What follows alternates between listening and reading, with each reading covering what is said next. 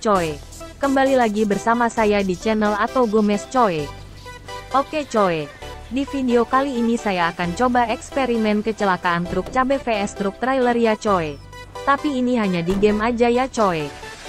Oke coy, seperti apa nanti kerusakannya? Simak saja videonya ya coy.